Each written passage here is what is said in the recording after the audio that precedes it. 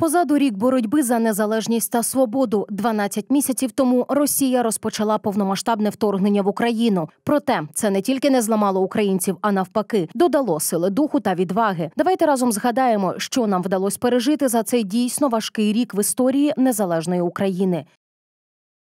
Лютий Рік тому, о 4.55 ранку, 24 лютого, Україна здригнулась від перших ворожих ракет на своїй території. Путін почав повномасштабну війну. Від звуків вибухів прокинулись жителі багатьох українських міст, зокрема Харкова, Одеси та Києва. Ми вводимо воєнний стан на всій території нашої держави. Хвилину тому я провів розмову з президентом Байденом. Сполучені Штати Америки вже почали гуртувати міжнародну підтримку. Наступного дня, 25 лютого, стало відомо, що захисники Зміїного красномовно вказали напрямок ворогові, який закликав прикордонників скласти зброю і здатися. Вираз Руський воєнний корабль «Ідіна» став лейтмотивом подальшого спротиву України. Його навіть обрали словом року. Кінець лютого запам'ятався заторами на дорогах, порожніми полицями в магазинах, панікою та сміливістю. Наприклад, коли люди голіручі зупиняли колону російських танків, саме цього місяця окупанти знищили українську мрію. Березень масованих атак російськими ракетами зазнали багато українських міст. Зокрема, 9 березня окупанти скинули бомби на пологовий будинок у Маріуполі. Поранення отримали щонайменше 17 людей, зокрема вагітні жінки. 13 березня в повітряному бою над Києвом загинув майор Степан Тарабалка якого українці вважали привидом Києва, символом хороброго захисника українського неба. Пізніше в командуванні повітряних сил пояснили, що привид Києва це збірний образ пілотів 40-ї бригади тактичної авіації повітряних сил. І знову Маріуполь, 16 березня, російська надпотужна бомба впала на Маріупольський драмтеатр, де ховались сотні людей. А поруч з будівлею був напис Діти сьогодні на місці Маріупольського театру руїни. Наприкінці 2022 року окупанти знесли пошкоджену будівлю. Залишившись без стін рідного театру, акторська трупа продовжує гастролювати по Україні.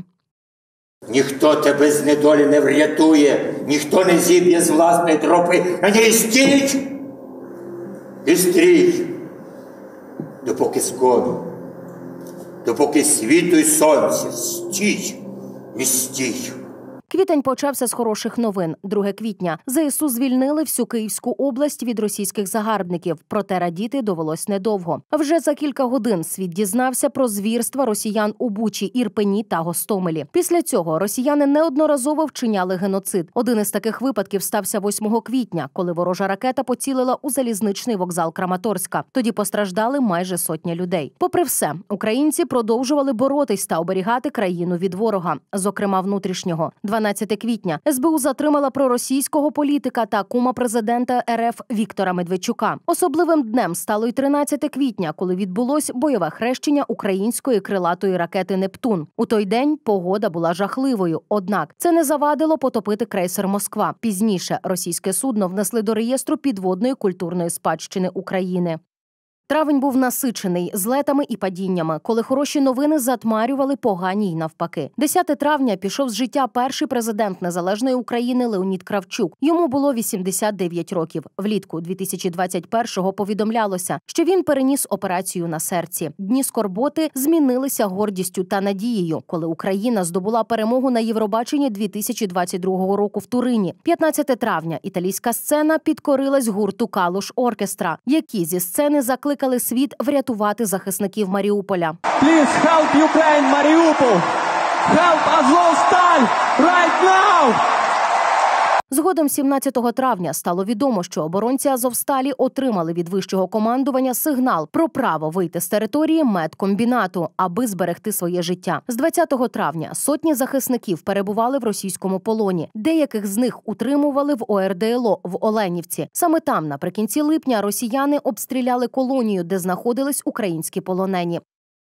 У червні Україна наблизилась до мети стати членом Європейського союзу, адже 23 числа разом із сусідньою Молдовою отримала статус кандидата на вступ. У цей день до України прибули перші американські Хаймарс. За місяць ці реактивні артилерійські системи продемонстрували себе як найкраще, знищили низку логістичних об'єктів росіян. Українці не лише отримували подарунки, а й колективно збирали кошти, аби забезпечити армію. 24 червня стало відомо, що Україна за три дні надонатила 600 мільйонів гривень фонду Сергія Притули на три народні байрактари. Турецьку компанію настільки вразила згуртованість нашого народу, що три БПЛА вирішили подарувати. А за гроші, зібрані на байрактари, Україна придбала супутник. Нині, завдяки йому, українська армія максимально швидко отримує знімки поля бою, які допомагають у плануванні операцій. Та на жаль, наше небо не захищене від російських ракет. 27 червня дві з них влучили в торговий центр Амстор у Кременчуці. Загинула 21 людина.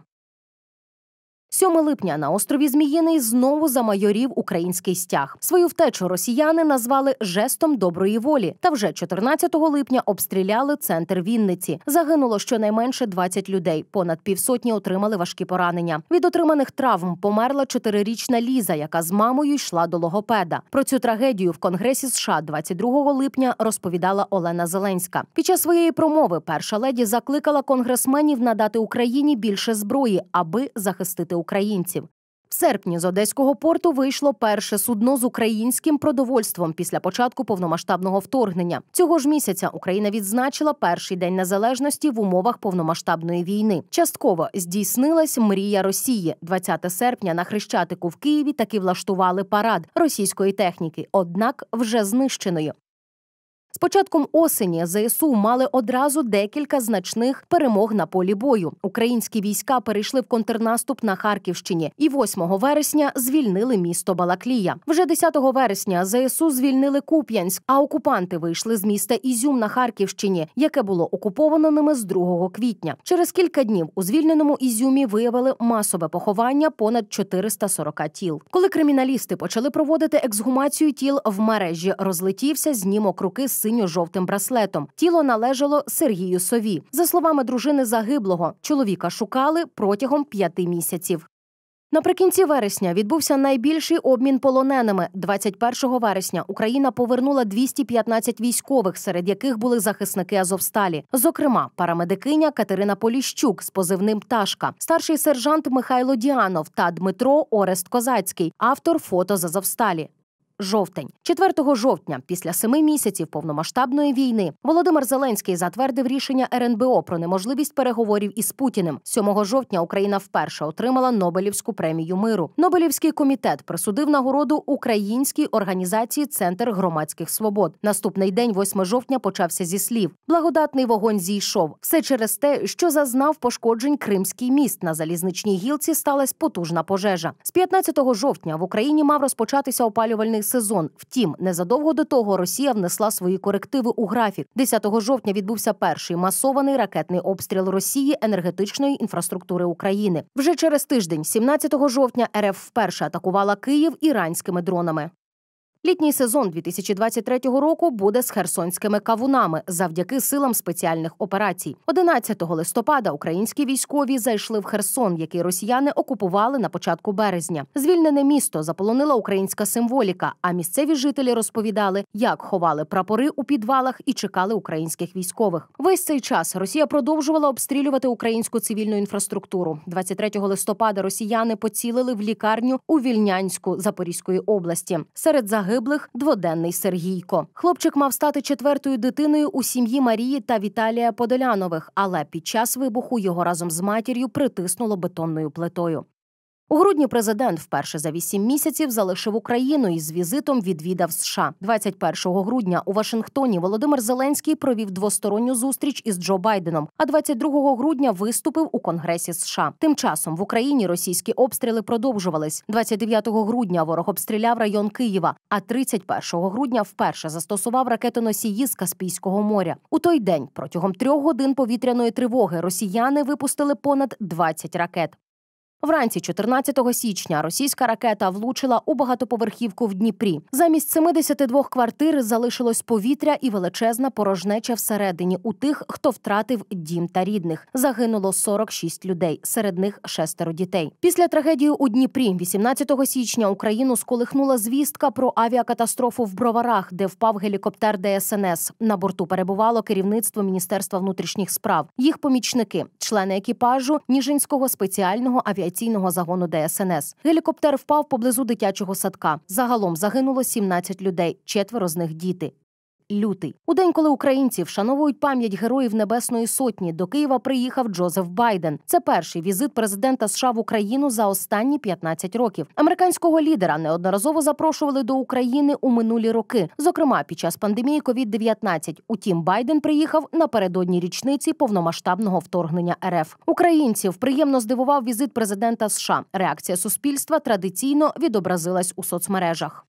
Попри пережити за рік, українці не втрачають віри і впевнено заявляють: ми переможемо. Хоч найбільша і найочікуваніша перемога ще попереду, ми досягли чималих успіхів. За сміливу боротьбу і стійкість, попри все, українці потрапляли в рейтинги найвпливовіших людей у світі. Десятки світових журналів та газет вийшли з першими шпальтами, присвяченими Україні. The Economist, Time, Newsweek, Vanity Fair, Politico, Mirror, Metro та багато інших присвятили першу сторінку нашій державі та її народу як прикладу стійкості та відчайдушної боротьби. Світові змі одне за одним друкували на своїх обкладинках Володимира Зеленського. Так, Financial Times назвали українського президента людиною року. Time – найвпливовішою людиною. Політіко найвпливовішою людиною Європи. The Economist визначив Україну країною року. Time обрав символом 2022-го Зеленського та дух України. Європарламент вручив українському народові на чолі з Зеленським премію Андрія Сахарова за свободу думки. Рік великої війни дав усьому світу змогу зрозуміти, ким насправді є українці сильною, нескореною, хороброю нацією. Нині нами захоплюється увесь світ на чолі з політичними лідерами, і всі знають, цей рік буде роком нашої перемоги.